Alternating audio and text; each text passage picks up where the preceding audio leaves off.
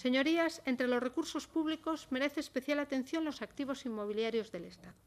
Tras un primer plan de actuaciones que ha permitido ahorrar en alquileres a la Administración General del Estado 44 millones de euros, los procesos de enajenación de inmuebles han generado hasta la fecha ingresos por valor de 105 millones.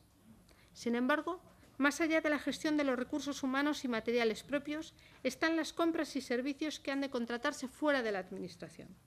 El informe identifica un conjunto de suministros básicos a fin de proceder a su adquisición centralizada.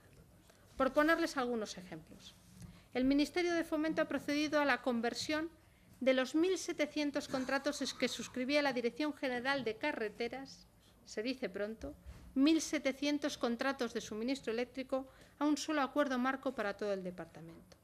Los ahorros son también muy llamativos. La centralización, por ejemplo, de ese suministro de energía ha permitido al Ministerio del Interior ahorrar 9 millones de euros de un total de 47.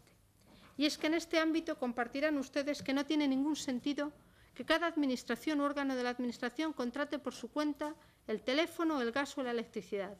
Contratando conjuntamente se ahorra y mucho.